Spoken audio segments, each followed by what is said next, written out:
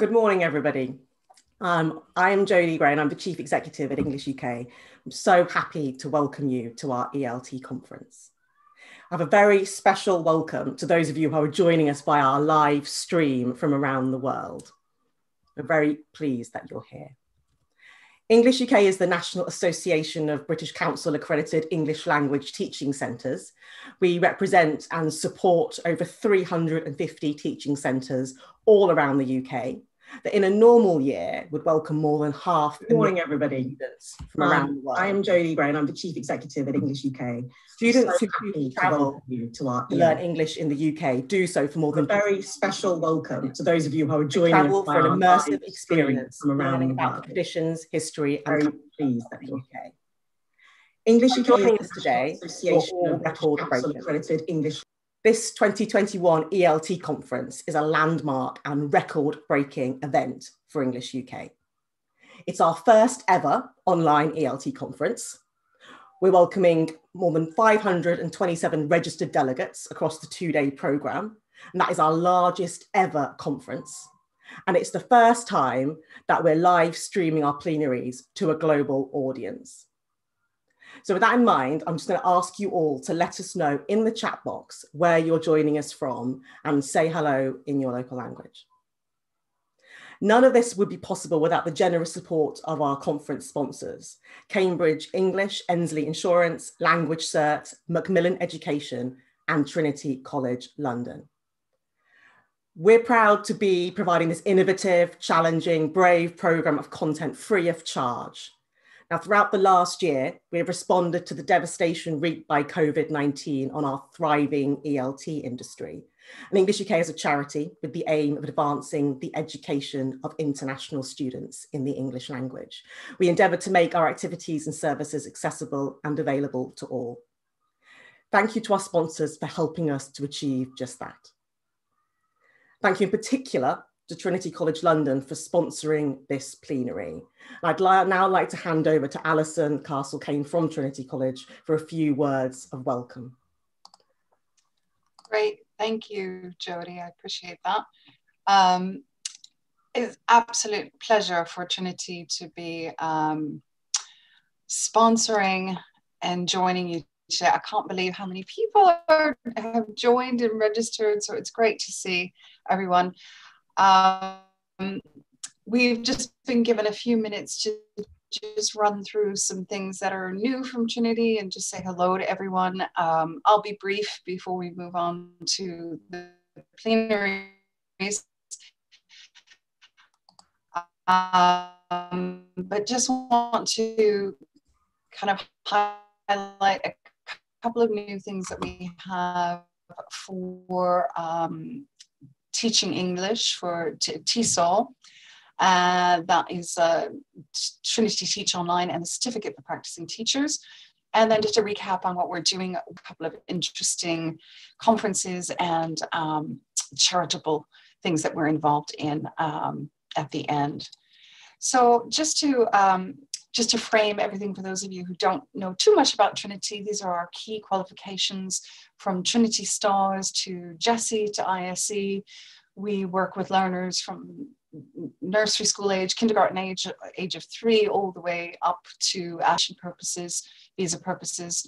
And then, of course, we do um, a whole range of TESOL qualifications for new and experienced teachers in our TESOL department. Uh, we're quite excited for 2021 to have a Trinity Teach English Online. Uh, this is our first course to improve their um, teaching abilities. Hopefully, I have um, reconnected there. Um, so Trinity Teach Online is a self-study course, um, and it's really designed for teachers not so much who are new to online teaching, but really to kind of enhance and develop what they're doing online.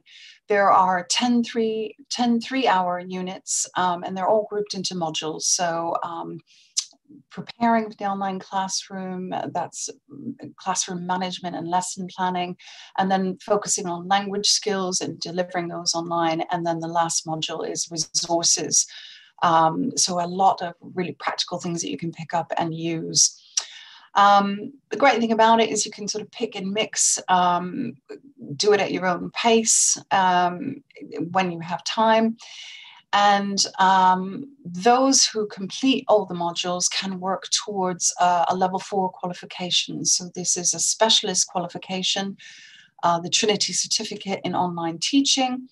Um, we're expecting this to be available in June. So this will kind of accumulate your knowledge and then you will be eligible for the full assessment and the qualification. We had extremely positive um, responses from our pilots um, on this course.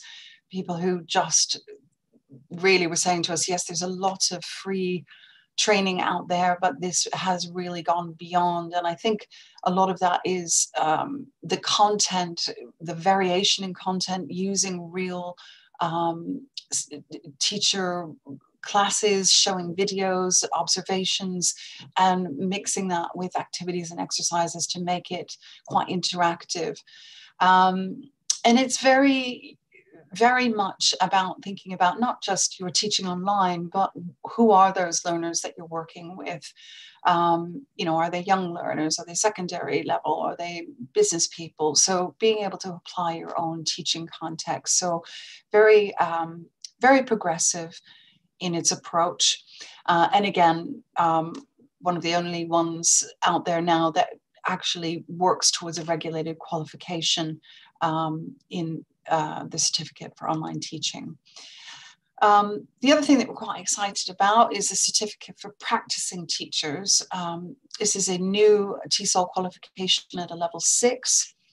And um, this really, I think, would be appropriate for anyone who, you know, you've been teaching for quite a number of years, you have your certificate, and you're thinking about the next step, um, but maybe not quite ready to embark on a diploma or an MA. So this is a kind of bridging qualification. Um, this is designed to be done in service whilst you're teaching um, 100 hour qualification time, 30 hours of guided learning, and 70 self study. And this is all about taking your own teaching context and assessing materials. So, looking at the materials that you use, critiquing them, adapting them, changing them, creating new materials, and then applying them. So, there's, there's that process um, involved, and it does involve four assessments. All of our providers are currently doing this online, as you can imagine. Um, and we have a number in the UK, Ireland, Spain, China, New Zealand offering the CERT PT. Um, and interestingly, this is also offered for um, teachers who would like to do the assessments in their native language they can be done in uh, not just English, but also Spanish and Chinese. Uh, we will be adding more languages in the future. Um, so again, very sort of inclusive, progressive um, qualification. Um, all of the providers that are currently offering the CERT PT all have um, specialisms, so you will be able to find something that kind of links to what your current context are, but some of them that are currently running are young learners, project-based learning, teacher education, technology, CLIL, ESP, exam preparation, and so on. And there are more coming. Um, for those of you wondering, you know, what, what we have been doing with our current exams, um, we are running GESE and ISE online. Um, if you don't know too much about Trinity exams, we are very much about not just assessing linguistic competence, but also trying to, to um, deliver exams that also have a positive influence on teaching and learning. So making sure that those key skills for further study or for employability and making it as real life as we possibly can is, is a real in the fabric of our assessments and also very much um, we're looking at what students can do with language as opposed to what they can't do. So we're, we're not about punitive marking. It is about eliciting language from students and getting them to demonstrate their communicative competence. As a reminder, some of you may uh, know, but just um, GESE is um, our speaking and listening exam, very popular for short stay, intensive programs and features a one-to-one um, conversation exam with a professional examiner. ISE is our high stakes exam, um, mainly used for university entrance. We now have a 98% uh, acceptance rate by UK universities um, for students who need to demonstrate their level of proficiency. And also ISE is recognized by um, the UK Visa and Immigration purposes for uh, Department for Student Visa purposes as well. As I said, we are delivering these by uh, video conferencing now. This will continue to be an option, at least for the sort of medium term future that we, you know, we're anticipating being able to run this either as a VC version or in person when, you know, when we're um, at a stage of sending examiners back to centers. Um, but the online delivery does still need to be within a registered exam center at a computer station or laptop, but it is the same, these are the same exams, um, the same content and the same certification. I think importantly, with um, digital delivery, we don't have any minimum fees or candidate numbers, so that is a real support to schools that are um, maybe operating with not as many students as, as they normally would. Um, and then finally, I just want to highlight a couple of um, things that we're involved in planning now uh, and doing. We have the sixth Future of English Language Teaching Conference that we organize um, with Regent's University London. Uh, that's happening online Saturday, the 26th of June. Uh, it's a free event, all are welcome. Last year we had about a thousand people join us, so um, from all over the world, very international in scope. Um, and we're delighted to have our plenary speakers, Scott Thornbury and Silvana Richardson, who you will see in a moment for the next plenary here at English UK. And then finally, um, just want to talk about the Trinity's Language Access Fund. We launched this at the beginning of the year, um, and this is really designed to help students who are having difficulty accessing language training and um, qualifications. So this is helping students who, for whatever reason, maybe have socioeconomic barriers or race inequality or um, can't access programs because of their settlement status, um, special needs, disabilities, and more. So um, this is a fund that has been set up to help candidates um, and we contribute um, not to just towards the exam fee, but also the cost of lessons or materials, um, travel expenses, and so on. So people can apply um, for a grant of a group of students, um, up to £2,000 per group. Um, and we encourage you to get involved, certainly if you're working with a student, a single student, or a group of learners who might benefit from this. Okay, and that's it. My details are on the screen. I'm happy to um, get any emails from you or questions about anything that I talked about today. And um, I'm now going to hand over back to uh, Jody. And um, Thank you, Thank. You I think um, we had a slight issue with the screen sharing, mm -hmm. but we will be sharing um, the slides afterwards um, so that everyone can um, receive your details. And do feel free to share them in the chat as well. And thank you so much, Alison, um, uh, for your words. And thank you to Trinity College London again for sponsoring this session. Um, today is Earth Day. Um, the rallying call of Earth Day is this, when life around the globe returns to normal, our world cannot return to business as usual. And it's in that context in the context of a global pandemic that has given us the opportunity to improve the ELT sector as we rebuild it.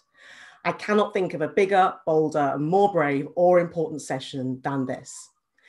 In 2016, Silvana Richardson, the head of education at Bell Educational Services and strategic education advisor at the Bell Foundation, delivered a seminal and now legendary plenary session at the IATEFL conference meticulously researched, excellently delivered, and grounded in real experience, Silvana effectively dismantled many of the surviving myths supporting the idea of native English speaker teachers and made sure the discussion was put under the glare of the ELT spotlight.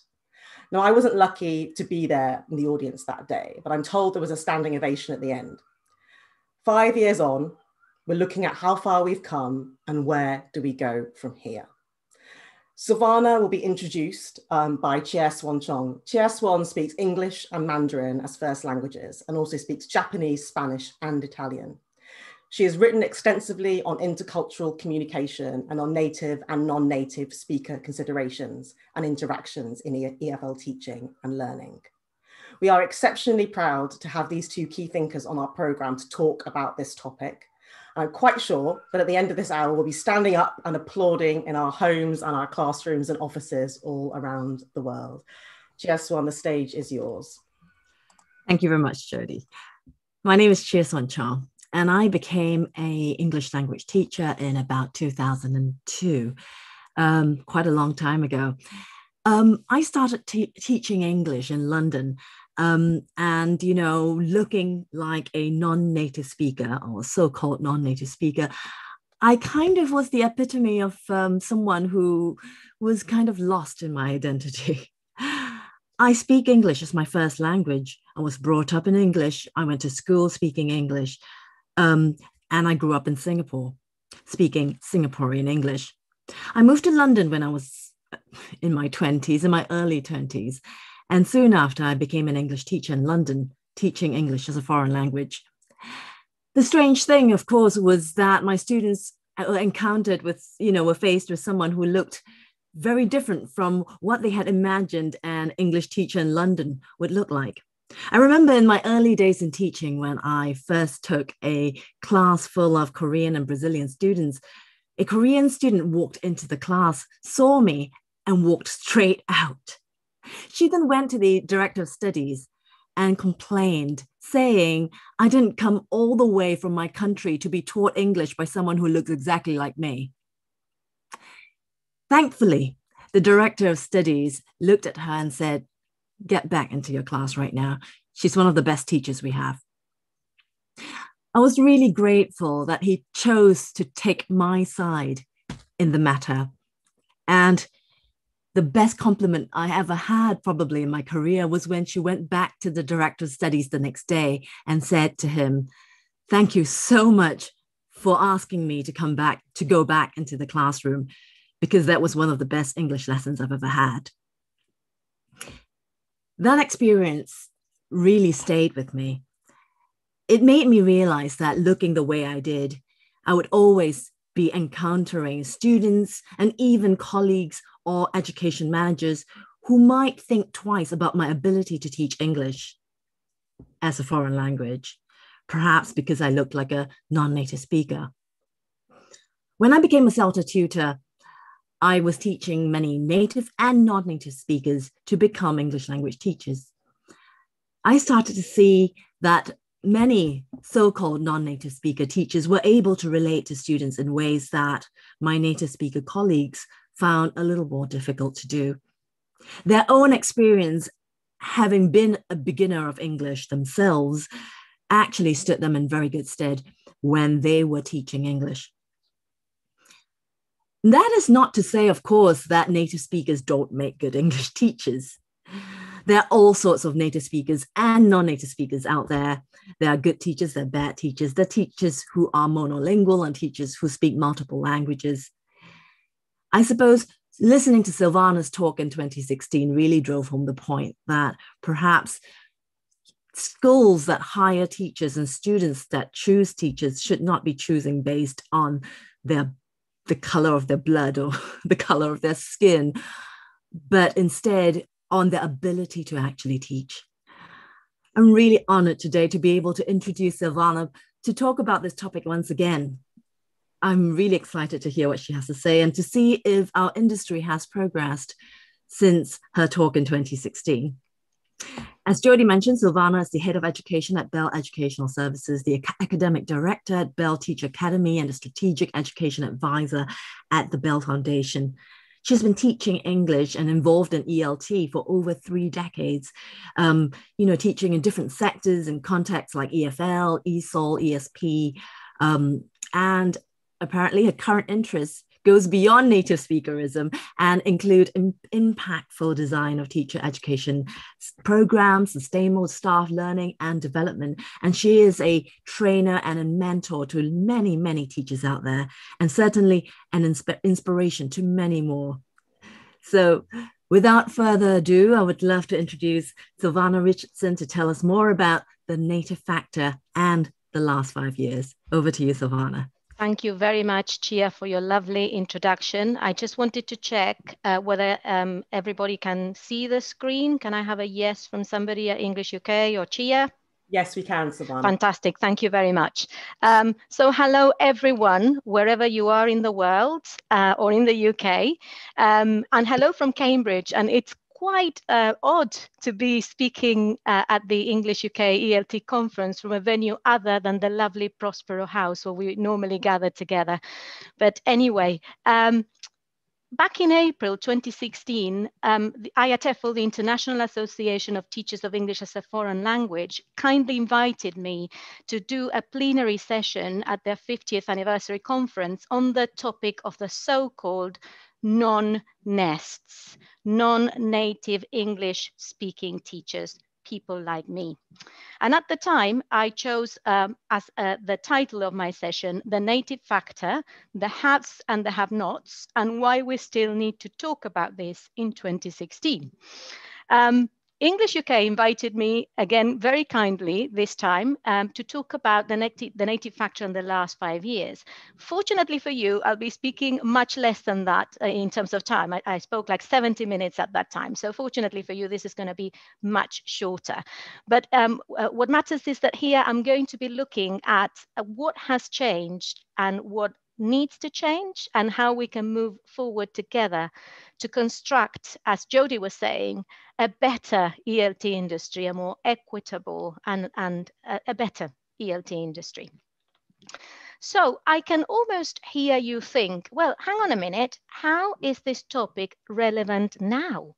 Are there many more pressing issues right now that we would need to be focusing on and addressing, like, for example, the impact of the pandemic or, you know, uh, for, for us based in the UK, the impact of Brexit on the ELT industry. And here are some headlines reminding us, you know, of, of school closures and the impact on schools and teachers and teachers' jobs and teachers, you know, workloads and stress and burnout and things like that. And more importantly, for some of you, you may be wondering, what has this got to do with me? And interestingly, English UK has chosen a program for today that gives us a little bit of a breather so that we can actually take some time and envisage how we can move forwards and construct a more equitable and caring post-pandemic ELT industry. And these are some of the topics that appear in today's program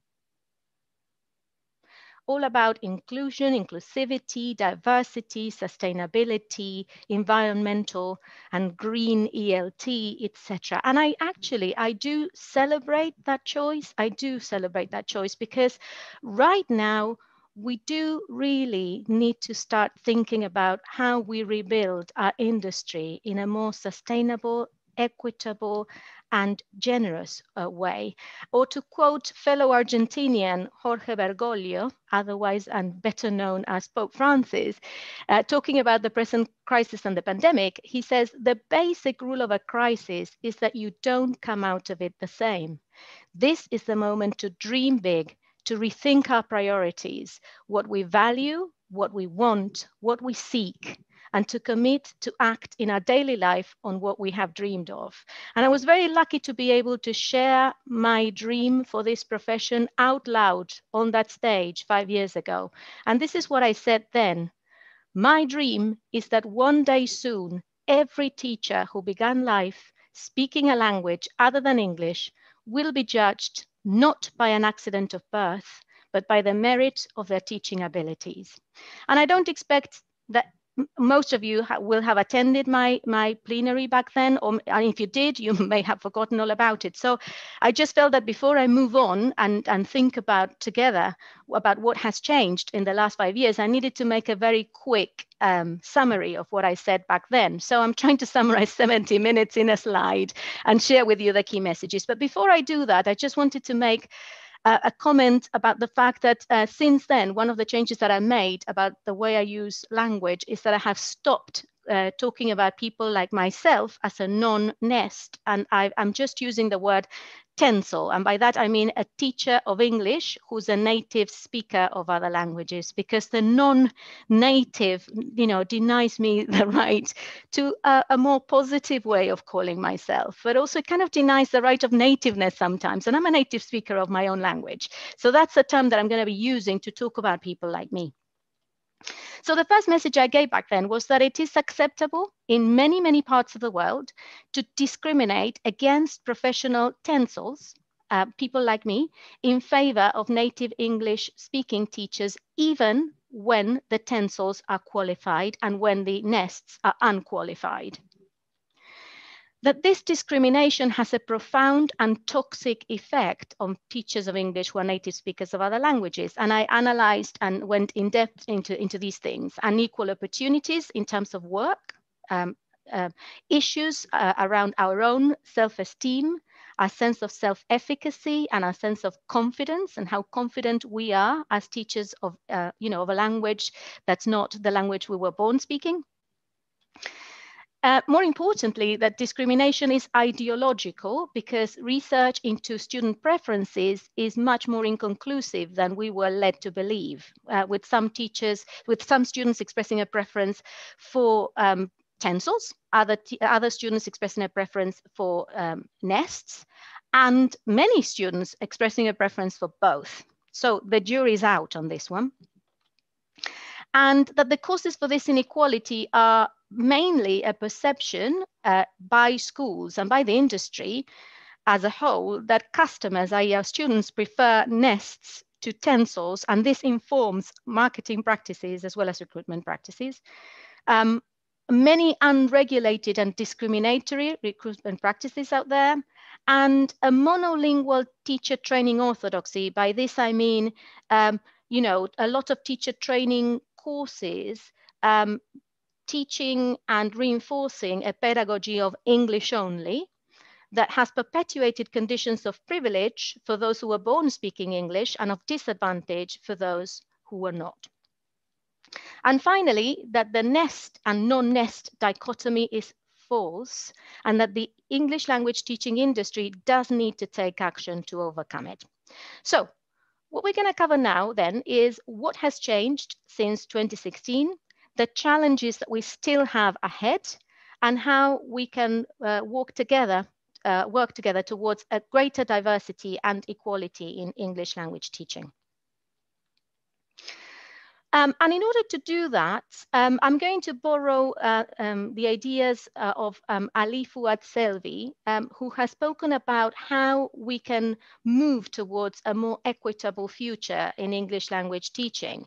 And he said that this requires a change of mindset from native speakerism in very simple language, the notion that nest is best, to professionalism, i.e., what really matters is not the passport that we hold or the country in which we were born, but how professional, qualified, competent we are as teachers of English. And he says that this um, change takes place if we do three things. And this is what is going to inform my talk. Number one, he says, raising awareness is really important. And sometimes it's, it's quite shocking how um, there is a lack of awareness of the plight of TENSOLs, you know, of discrimination, of prejudice, of lack of equal opportunities, of social injustice around our industry. So the first step is really to raise awareness, says Ali Selvi. The second step after that is to build advocacy. In other words, to speak out, stand up, be counted, speak out for this, you know, native speakerist injustice and in uh, to, to talk about uh, professionalism. And finally, he says, as you raise awareness and as you build advocacy, we demonstrate activism. We need to be supporting and promoting, he says, uh, and this is uh, and this is a, a, task for all of us, for all stakeholders in, in our industry. So from teachers to teacher educators to managers to the students themselves, from the the people, pupil, you know, the public in general. Um, to be seen to be supporting and to be promoting professionalism in our field and to actually call out discriminatory practices and not just the practices themselves but also the influences that those discriminatory practices have on you know the psychological well-being of TENSOLs as well as issues of you know uh, justice pedagogy etc so with this in mind um, I just want to look at what has changed uh, since 2016 so let's get started with that. I would say the first thing that I can notice since 2016 is that there has been an increased awareness of the plight of those teachers of English who are native speakers of other languages. And there has been a lot of um, stage, space, and space in social media for us to make that issue more visible which is great. And what has happened as a result of that increased visibility and awareness around these issues is that when somebody like Chia stands up and says, look, I've experienced discrimination in my workplace um, from, from whoever, you know, students, customers, etc. What you get is a little bit of a Me Too effect. So you get a ripple effect of teachers coming out of the woodwork and telling us, you know, I've had thousands of stories after my plenary and the years afterwards. People coming and saying, It happened to me too. I experienced this. I can kind of see myself in what you're saying. And of course, this um, is natural because three quarters of all job ads in the private TEFL sector are for native speakers only. So it's only natural that we are going to be experiencing discrimination at some point or another. But what's important as well is that this is not my issue or Chia's issue. Um, or the issue of over 80% of the, of the teachers of English uh, as a foreign language who happen to speak languages other than English as their native languages. I think what we also um, became more aware of is that this is a problem that we all have. It's an, a problem that we own together. Because if this is true, this is the case that um, there is discrimination um, against um, TENSOLs, it, what's also true is that because the job ads privilege the idea of native speakers, then that the value of qualifications, expertise, professional experience is kind of downplayed um, in favor of passports, nationality, um, where I was born, etc. So I think we are all much more aware that this is not a problem that's just mine, but it's a problem shared, and that the way out of this problem is to work together. So, to look at ourselves and think of ourselves as ethical and principled professionals working together against discrimination, prejudice, inequality, social injustice, and professionalism in ELT. So, once that message uh, became more visible, uh, we, we saw much more of advocacy by individuals and by organizations. So let me show you now a couple of examples of advocates of this um, important message around professionalism. And I want to show you these not just to, to illustrate what happened uh, since 2016, but also as shining examples and models to follow. And in the way that they did things, I hope that you also have ideas about how we can all do things as well. So um, at that conference, there were other, uh, other, of course, plenary speakers, and two of them actually um, spoke very loudly and clearly about discrimination and the plight of the TENSOL. One was David Crystal, uh, where he basically called out uh, discrimination. And he said, if I were in charge of a language teaching institution, I would not be interested in where the teachers were born, what their first language was, or whether they had a regional accent. There are absolutely no grounds for discrimination these days. And he made his ideas known in a, a, a now famous blog, TEFL Equity Advocates. Um, and the same thing uh, was what um, Scott Thornbury did. So uh, again, and he spoke out and said, from a purely personal point of view, I have to say that many of the best teachers I have observed, or the best conference presenters I have ever witnessed, or the most inspiring colleagues I've had the pleasure to work with, just happen to have started life speaking a language other than English. And again, you know, putting those thoughts out publishing them, making them, making himself heard on this issue.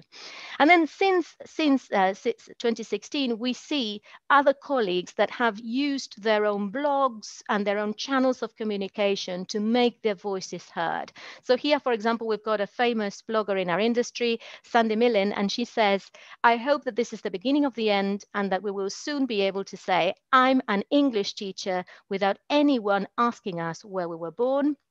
Also, as an example, Lizzie Pinard, another famous blogger, um, you know, kind of echoing Ali Fuad Selvi here. She says, what matters is that we all recognize what has gone on, what is going on, and where the future is or should be, and do our bit to push, to push it in that direction, activism. We are all professionals in the ELT world, professionalism, together, and we all need to fight together to make it what we want to be. And finally, as an example, here is um, Andy Hockley, who is a manager trainer. And in his blog, From Teacher to Manager, speaks to managers and people who are training to be managers about the need to challenge people's perceptions about recruitment. So he says, we have the duty to change people's perceptions, and we do that by changing our hiring practices. From this point forward, if anybody who has responsibility for recruitment says in one of my sessions, we have to hire native speakers because the students expect or want it, I will respond that even if that's 100% true, and we know it isn't, it's not a good enough answer. So here are some good examples of people speaking out and advocating. Um, let's have a quick look at organizations and following again the shining example of, for example, um, California TESOL or TESOL France, in the summer of 2016, TESOL Spain released a position statement and I'm gonna just be silent for a little bit and let you read it out. Sorry, read it.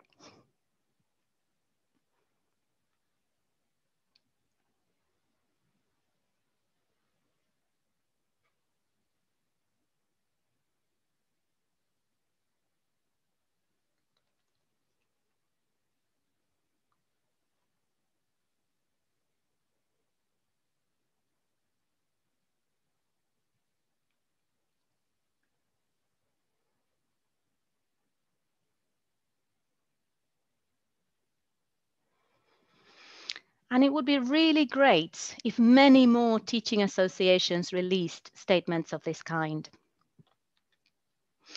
Let's have a quick look at activism now. So how people actually took very practical and very concrete steps. And again, we look at the individuals and the organization. So two wonderful examples from two practitioners. One, a teacher and teacher trainer, this is uh, three examples actually. This is Marek. Um, I don't know if you're, you're familiar with uh, Marek Kiczkowiak, uh, founder of TEFL Equity Advocates and one of the most um, exemplary models of um, how we can be active um, about this. So interestingly, Marek was a little bit of that famous saying that if life gives, gives you lemons, make lemonade. Uh, he made the most exquisite lemonade of the lemons that he got, which was he was rejected, um, even though he was a professional and, and if you if you know him, you, you know how competent he is, etc. He was shocked to be rejected for a job. And so he set up this blog after that experience, being turned down just because he was a non-native uh, speaker teacher. Um, so he started publishing in his blog free resources promoting equality. So he's got a fantastic catalog of webinars and guides and videos and articles that I strongly encourage you, if you're interested in, in this topic, to uh, look at. Um, he runs online training courses on how to tackle native speakerism, how to get a job as a TENSOL, and how to raise even students' awareness of native speakerism. And he speaks very fre frequently at conferences about discrimination and bringing about a fairer ELT industry for all. Another example, another teacher and teacher trainer is Sarah Priestley. Um, she works for the British Council and is based in Italy. And she, after uh, being there at the plenary, she decided she wanted to do something uh, about, um, you know, the plight of and, and, and raising awareness of professionalism, etc. So he started very small. He decided she wanted to do a 15 minute continuing professional development session for her, for her teachers on this issue. Then she just shared what she had done with others who had missed the session. She wrote a short summary of her session for her teacher's newsletter. All things we can all do. Start small from our school.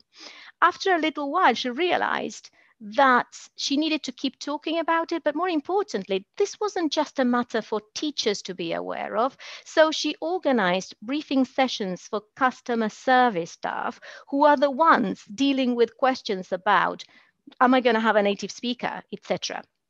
And she did this with a, a, tes, a, a TENSOL colleague.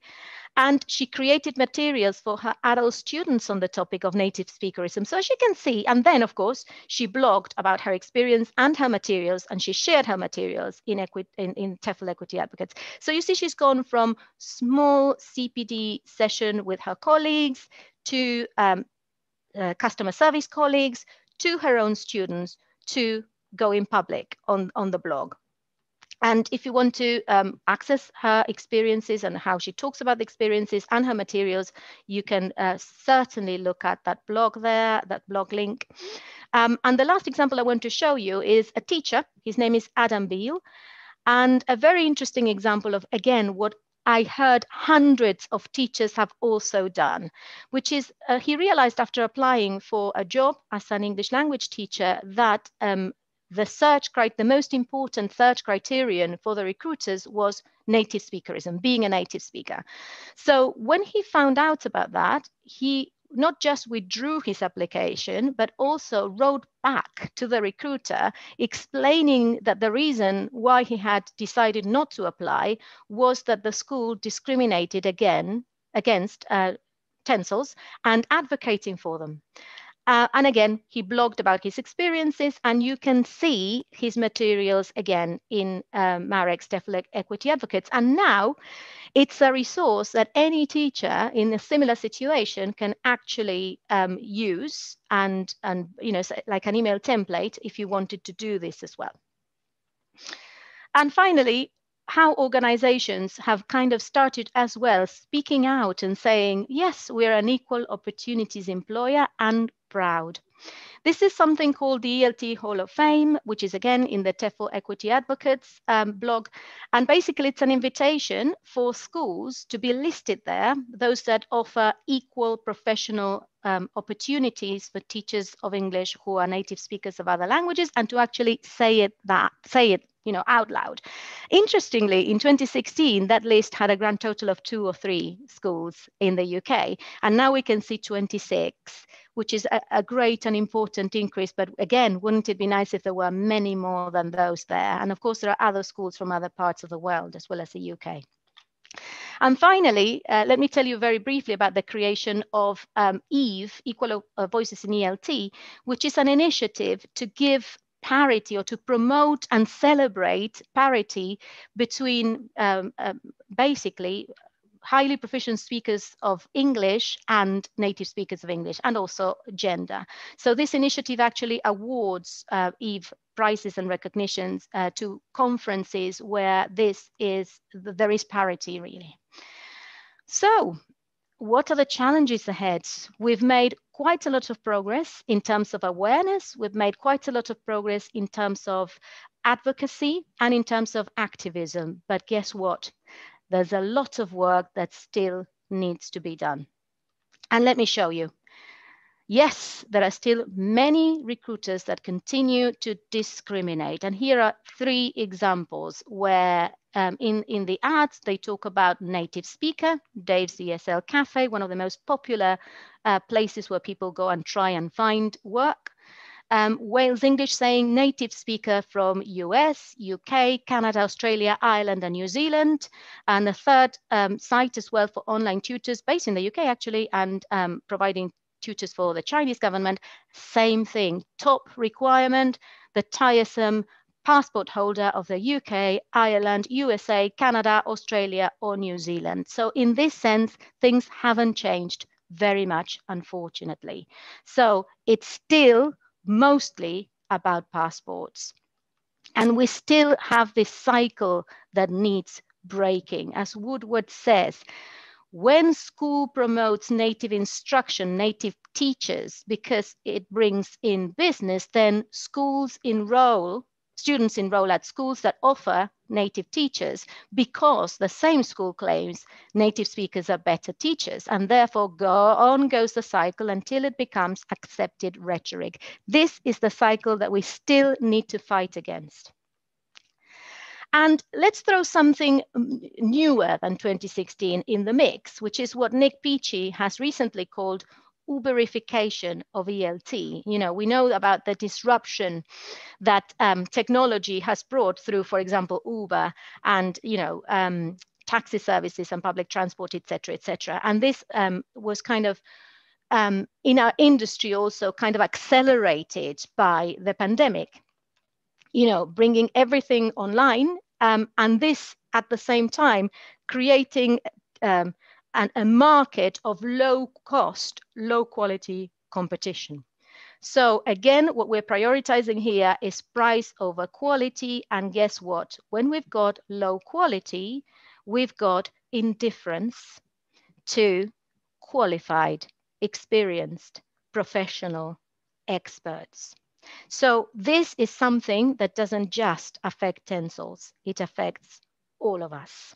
But the second problem, if you like, of the Uberification of ELT in terms of social justice and equality is that it gives people access to sorry to native speaker uh, a native speaker teaching pool anywhere at any time and i'm just borrowing here nik peachey's slide and i think his choice of picture is a very interesting one indeed because it captures what research has found along the lines of it's not just about we want this passport or we want that passport, but also uh, issues of racism where um, Caucasian white people are often preferred. So as I said, this is not just a matter of uh, discriminating against teachers of English who are speakers of other languages in favor of native speakers of English, but also it's a matter of all of us who are professionals are being not, you know, are kind of, mm, this is not important. So there's a devaluing of professionalism there. So let me give you an example, a quick example of a site um, that I accessed on Monday, actually. Um, and have a look at the, so this is for students or some, somebody who wants to um, hire a teacher, a little bit like TripAdvisor, if you like. So um, we look at, at, the different filters and the first filter is price, of course. And the second one, have a look. The second most important filter is select a country of provenance of the teacher, yeah? And of course, the most popular search, uh, you know, the most popular choices are United Kingdom and United States of America. So it's all about the passports. In the second row, we see another filter, and this is called native speaker. Interestingly, it's not really a drop-down menu, but it's an inclusion exclusion criterion. So when you open that uh, drop-down or in, a, in appearance drop-down menu, what you get is only English native speakers. And it says, we will only show tutors who teach in their native language. So again, reinforcing this idea that NEST is best, but also, um, hang on a minute, where is the only TENSOLs? It doesn't feature as an option worthy of selection. Even as we said, students are not necessarily as impressed by native speaker teachers as one might suppose, and that's what the research says. Um, again, reinforcing this disadvantage for TENSOLs. But I think, as Freud once said, we should pay attention to what's being unsaid as, well as, as well as what's being said. What's the missing filter here? What's the filter we don't have? And the filter we don't have is only TEFL qualified teachers. This is not even a category worth noticing here or filtering. So how do we move towards greater equality and diversity? I hope I have made an argument for the fact that we still need to do quite a lot of work about this in our industry. we still have a problem and a problem of equity and social justice where nests are still the first recruitment choice and sometimes in some settings they command higher salaries and in many settings that TENSOLs are discriminated.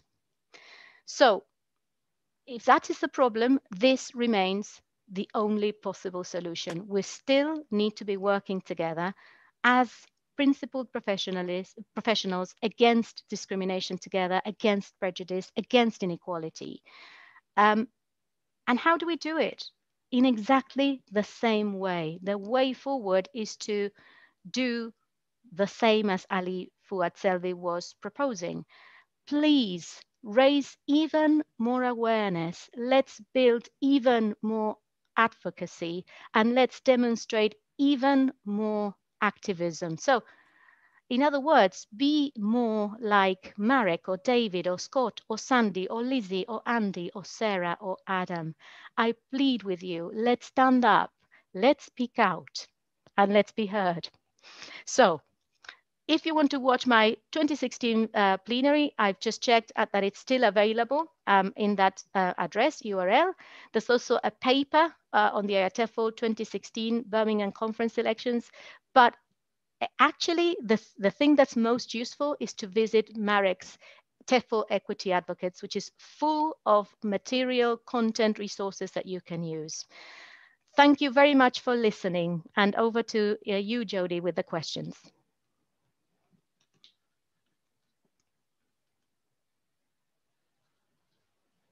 You're muted, Jody. I'm muted. Sorry. Thank you, Silvana. That was absolutely brilliant. And I, for one, am standing up and applauding, and I'm sure that others are too. Um, so insightful and so important right now. Um, that quote that you had at the beginning, that the, the, the basic rule of a crisis is that you don't come out the same, that will stay with me for a long time. Um, in June 2020, English UK released a short statement committing to creating an anti racism action group and updating the English UK membership rules was our first step against racism in the association and in UK ELT. And of course, that will include looking at discrimination against TENSOLs. Um, our announcement was received with a mix of enthusiasm, reserved optimism, but also some pessimism about the possibility that we can make a difference. And we know that transformation is going to be difficult, but with the disruption that we've seen uh, over the last year um, due to the COVID 19, we believe that change is both necessary and achievable, and that together we can create a fairer, better, more inclusive and equitable um, ELT sector. So um, this session is so important for that. We have so many questions coming in. And so do please put your questions into the Q&A box and I will address them till Silva to, to Silvana. While they're coming on, just a personal reflection. Um, I studied um, Hindi at university and my professor was an Italian native speaker. She was not only an incredible teaching professional, but her an amazing role model for me. She inspired me um, through her journey um, and was also so empathetic and understanding of the unique challenges and frustrations and joy of language learning. And I'll never forget that. Um, so some questions that we have coming in. Um, we have um, um, a question that came in first actually, and it was, it's from someone who teaches um, CELTA. Mm -hmm. um, and um, and often um, sees um, their, their students expressing concerns who are non-native speakers of English. Mm. They are going to be good enough. And um, he, that's actually more of a comment that he's directed um, several of these people to your original talk. And that has led to them feeling so much relief and often in tears and is asking for us to share this talk, which will, of course, we will do after the session. Um, in terms of um, that term, TENSOL, and we have a question about where has that come from? Is that your own term? Yes, it's my own term. I haven't, I've started use, I've decided to start using it. I haven't published it anywhere. I just felt that um, I didn't want to be called non, as I said, a non and I also mentioned that at the plenary, just, you know, to assert who you are by starting by saying I'm a non something is such a deficit view of who you are. And it just is not very, it's not good enough. So I just thought, well, how, how can I actually put, because it wasn't just the, a non that I have an objection against. I also had this thing about, you know, they're the natives because they kind of, they kind of started, um, shortening. So the natives and the non-natives, hang on a minute, I'm a native speaker. Everybody's a native speaker of a language, you know, and this is such a fantastic resource to, to learn and to teach languages. So I just thought, okay, I am a teacher of English and I am a native speaker, not of English, but for, from another language. And so uh, is 80% of our or more of our uh, profession. So that's why I just came up with this, which I feel comfortable with be you know if people want to, to, borrow it you know it's not my you know just it's for the world if you want it. I'm sure people will start analyzing it and saying no or not good enough. And you know the discussion isn't over. We need to but i think it's about stopping that non-nest discourse and that you know that's not helpful and thinking of what what we want to be calling ourselves Mm-hmm. And what about the term native within that? So, in giving the increased focus on multilingual and plurilingualism in language education, do we is it time that we start problematizing the use of the word native speaker yeah. as well yeah yeah absolutely and you're absolutely right and you're absolutely right to point out um, uh, that that issue i mean the, the concept of nat- native native speaker in whatever language is problematic for me it was more of an equality thing there that we are all native speakers of a language but of course there are many problems around the notion of, of native because um, what does it mean you know uh, if you are born in a multilingual environment where your dad speaks English and your mom speaks Turkish, for example, you know, you're a native speaker of both, you know, yeah, it is a problematic concept. The problem with multilingual is that, eh, you know, Jennifer Jenkins tried and, and, and called, if I remember rightly, multilingual uh, teachers or multilingual English teachers or something like that, as opposed to monolingual English teachers, which is also problematic because, so she meant multilingual English teachers, people like me, monolingual English teachers, native speakers of English. But then, hang on a second, aren't, aren't there any teachers who, for whom English is their first or home language that also speak other languages. So it, it is, it is, and that's what I'm saying, you know, it's what I call myself right now, but we'll see. And we have we have a question from someone who um, is a native, for want of a better term, English language um, speaking teacher, um, and um, saying that, and I think this will be a, a question that many people will empathise with, um, sadly, saying that the company that she works for does state that all their teachers are native English speakers. What should she do? How should she go about challenging this concept and changing the company's mind? Her employer? Yeah, yeah well uh, this is this is a famous issue and, if and an issue that many many many people have had so i would say if you really you know if you think that this is something you want to challenge i think it's about bringing people together and saying hang on a minute is, is this something we want to continue to be doing? Um, is this something, you know, and show, um, sometimes what works is showing people the research on student preferences. And there, uh, there's, um, there's a lot of research about that I shared in the 2016 um, plenary, um, lots of research. So to say, look, hang on a minute, this is not true. This is ideological. You know, the, research on student preferences shows a completely different story. And there's also the narrative that uh, schools that hire native speakers, this is my unique selling point. Well, this is the least unique selling point I've ever seen because everybody says we hire native speakers. So how are you different from somebody else? It's a nonsensical kind of concept.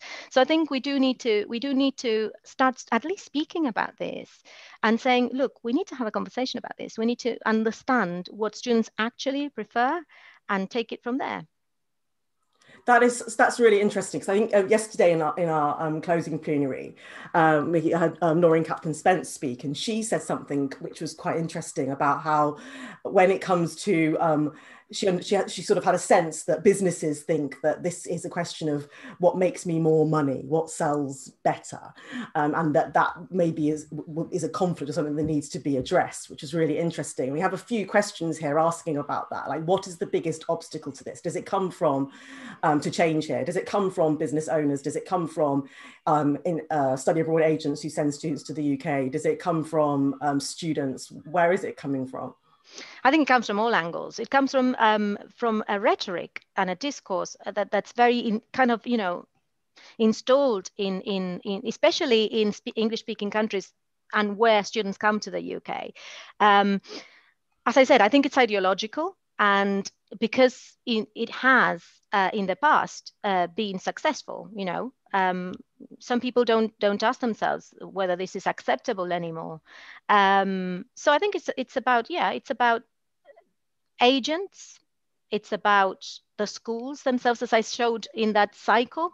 You know that that uh, vicious circle and cycle of. I sell native speakers as the unique selling point, and therefore students rather than professional teachers. And I continue with that rhetoric, and I encourage my agents to continue with that rhetoric. And then the students end up believing that. And when you sit down with students, because I did, you know, interestingly, in my organization, when a student um, sometimes comes and says, native speaker, they send them to me.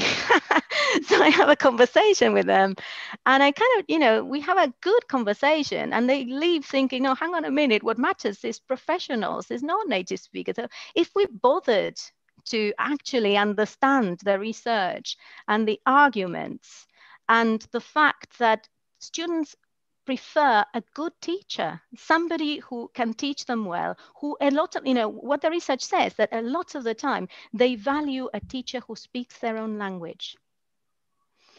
Um, so, you know, this is what students say.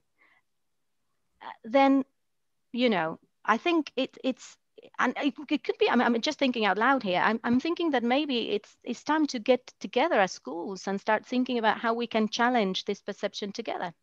Mean, that is what we are hoping that um, some of the anti-racism action work we're going to do um, will lead to, and it will in, in, in having an action group, and we're, and we're, starting off with surveys that will um, kick off next month, where we're asking professionals within the English UK network um, their opinions um, and try and get a real picture of what is happening, um, and and to get real engagement from um, from the ground up, which I think is is super important when mm. you're doing transformational work like this. a question about where that obsession, uh, this is in the question, where that obsession with native speakerism comes from. Is it post-colonial? Is that, yeah. is that where it comes from?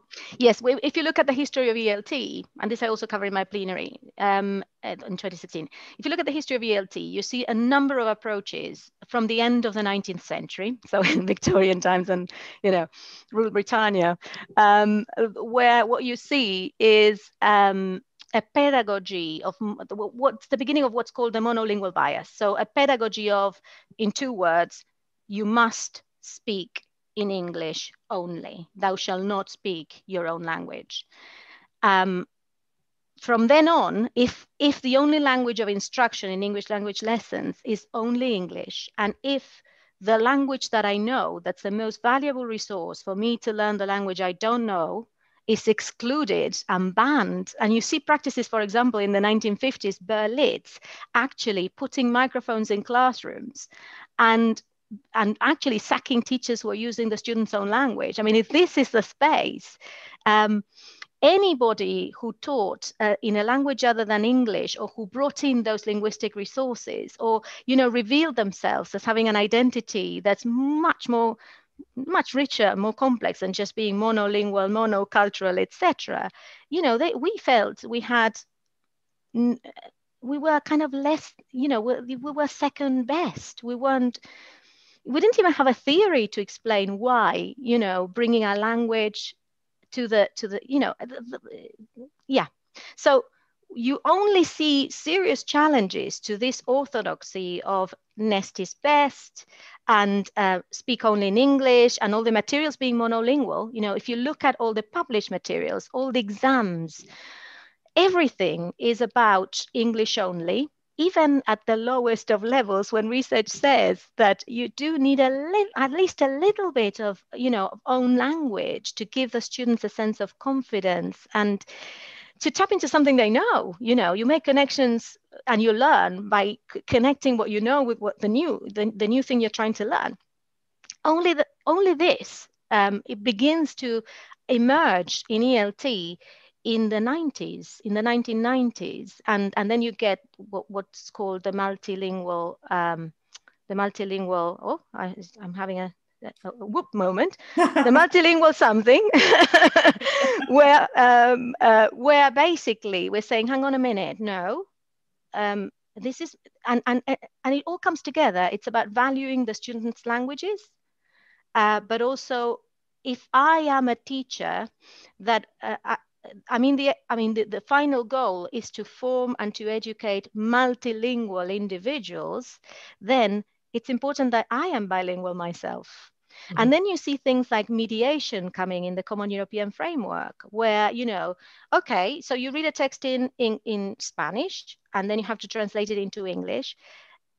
All this is happening now. So, more than ever before, the role of the monolingual, monocultural, English only speaking uh, teacher and practices and materials is kind of becoming passe, really.